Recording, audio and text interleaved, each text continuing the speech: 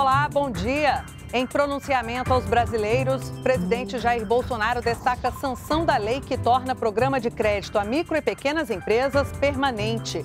25 bilhões vão ser liberados. E o presidente sancionou também o marco legal das startups, que vai facilitar o empreendedorismo e atrair investidores. Nós vamos explicar como para você.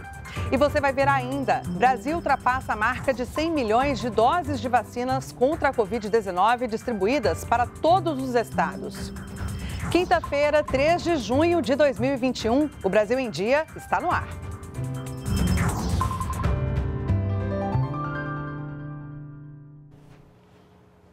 Agora são 8 horas da manhã. Você também nos acompanha ao vivo nas nossas redes sociais.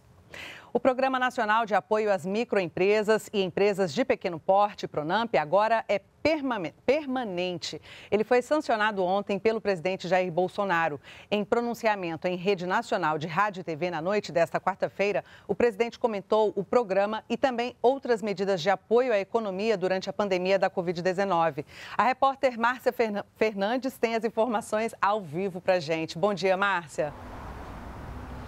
Oi, Daniele, bom dia para você, bom dia a todos que nos acompanham neste feriado de Corpus Christi. Olha, Dani, ontem nesse pronunciamento o presidente Jair Bolsonaro, ele apontou que a projeção é um aumento de 4% no produto interno bruto, um crescimento de 4% no PIB neste ano de 2021. Como você também destacou, ele também falou sobre o Pronamp.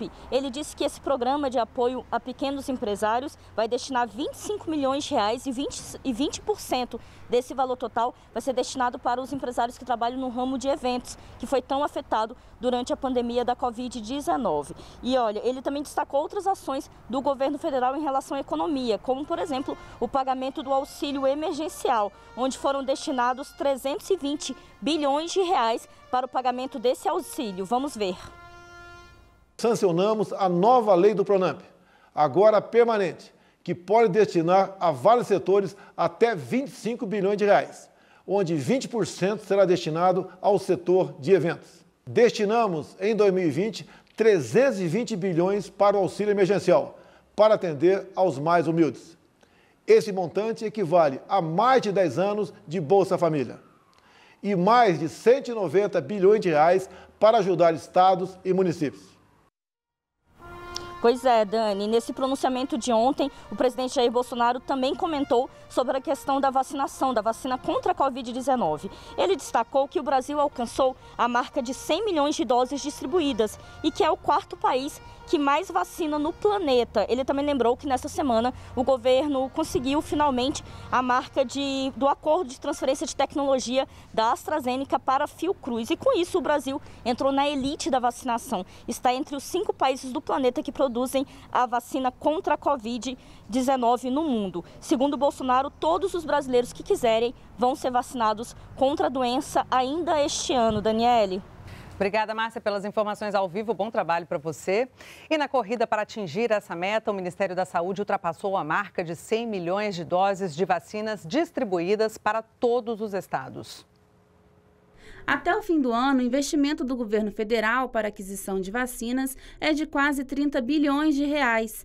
Mais de 600 milhões de doses estão encomendadas para serem entregues até o fim de 2021, após acordos fechados com diferentes laboratórios. O país já ultrapassou a marca de 100 milhões de doses de vacinas contra a Covid-19, distribuídas aos estados para o Programa Nacional de Imunizações. O ritmo da vacinação está acelerando. Por isso, fique de olho no calendário da sua cidade e, se for a sua vez, vacine já! 18 dos 28 grupos prioritários já receberam pelo menos uma dose da imunização, de acordo com o Ministério da Saúde. Nesta semana, quase 6 milhões e meio de doses estão sendo distribuídas para todo o país. 5 milhões e 900 da AstraZeneca Oxford, produzida no Brasil pela Fundação Oswaldo Cruz, e outras 629 e 400 mil doses da Pfizer BioNTech. Essa distribuição contemplará a vacinação dos trabalhadores da educação, grupo prioritário que teve a imunização antecipada pelo Ministério da Saúde. Em junho, o Ministério espera receber dos laboratórios aproximadamente 40 milhões de doses de vacinas contra a Covid-19. E a Fundação Oswaldo Cruz recebeu nesta quarta-feira dois bancos, um de células e outro de vírus, para a produção própria do IFA nacional da vacina Covid-19. O IFA é a matéria-prima usada para a produção dos imunizantes. Os bancos com o material vieram dos Estados Unidos e já foram levados para Biomanguinhos, onde, onde esse imunizante será produzido. Agora, de fato, com a chegada dos bancos de vírus e células, foi concretizada a transferência de tecnologia entre a Fiocruz e a farmacêutica AstraZeneca, um marco para a produção da vacina no Brasil, já que será possível fabricar a vacina 100% nacional. Você sabe o que são as startups? São pequenas empresas que nascem de ideias inovadoras, portanto, têm grande potencial para crescer. Hoje, elas são mais de 13 mil em todo o país. E para incentivar esses negócios inovadores, o presidente Jair Bolsonaro sancionou o Marco Legal das Startups. A nova lei vai facilitar o empreendedorismo e atrair investimentos. O marco legal das startups e do empreendedorismo inovador foi desenhado para modernizar o ambiente de negócios no Brasil, facilitar a atração de investimento e abrir novas oportunidades econômicas.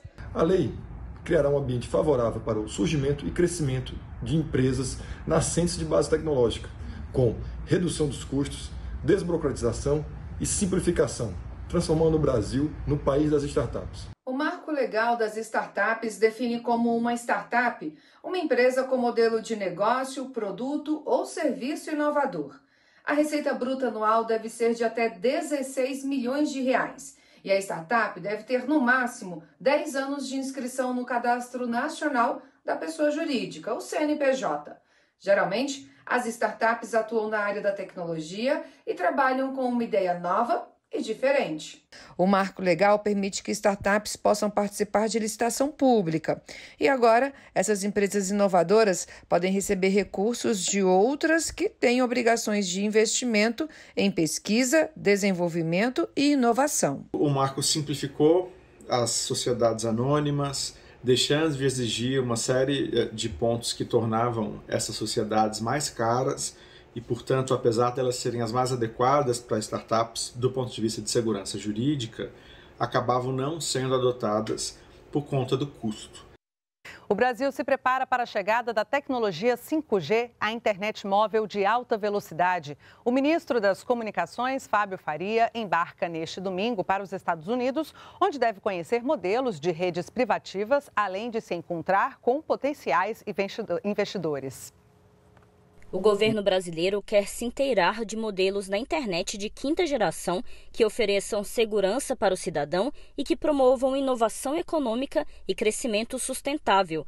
Neste ano, a comitiva liderada pelo ministro Fábio Faria já conheceu as tecnologias 5G usadas na Europa e na Ásia e segue agora para os Estados Unidos. Além da equipe do Ministério das Comunicações, a comitiva será integrada por representantes da ABIN, dos Ministérios da Defesa e das Relações Exteriores e de ministros do Tribunal de Contas da União, o TCU, que está analisando o edital do leilão do 5G no Brasil.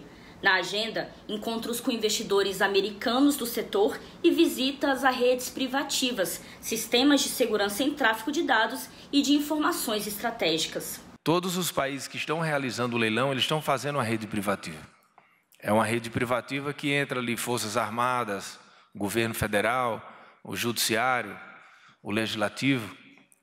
E, e isso eu diria que vai ser o futuro do, dos leilões 5G. Segundo o governo federal, a demanda por internet cresceu 40% no Brasil ao longo de 2020 e 8 milhões de brasileiros passaram a ter acesso à internet nos últimos anos. A expectativa de Fábio Faria com a chegada do 5G é gerar recursos que possibilitem esse acesso a outras 40 milhões de pessoas. A gente vai ter um aumento muito grande no nosso agronegócio, por exemplo.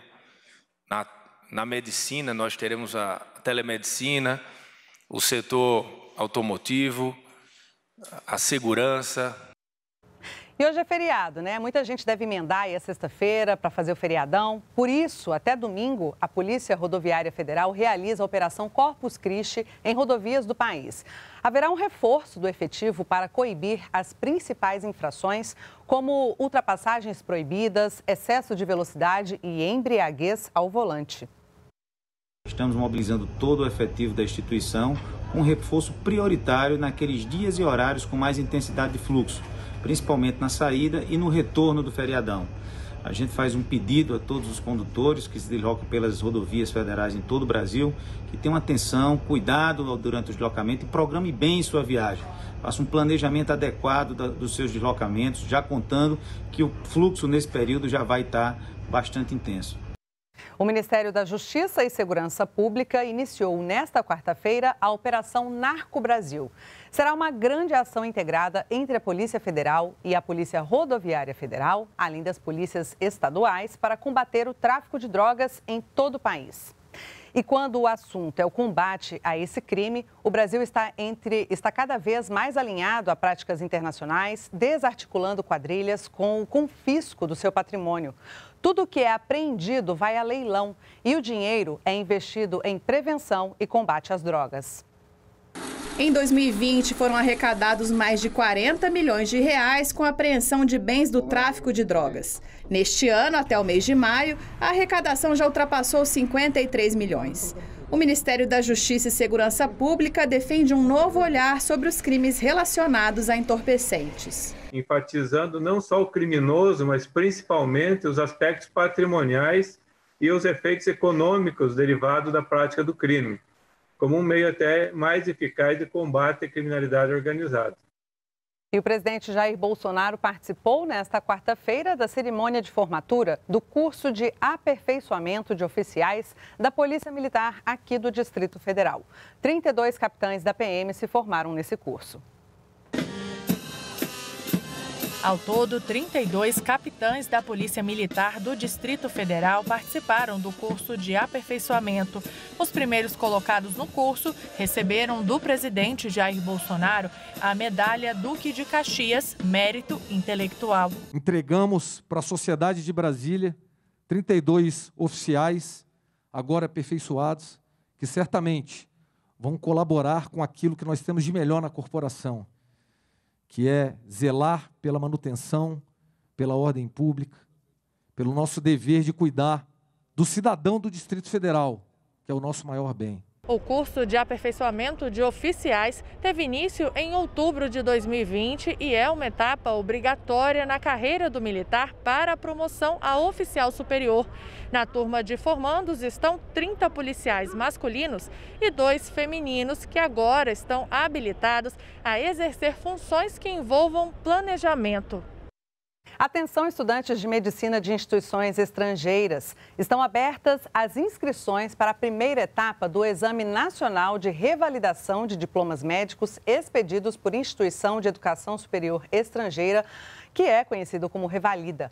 Os interessados têm até o dia 11 de junho para se inscreverem na página que aparece aí no seu vídeo. As provas estão marcadas para o dia 5 de setembro em oito capitais brasileiras. E o Brasil em Dia fica por aqui. Você pode rever as nossas reportagens em nossas redes sociais. Um excelente feriado para você, um bom dia e até amanhã. Tchau, tchau.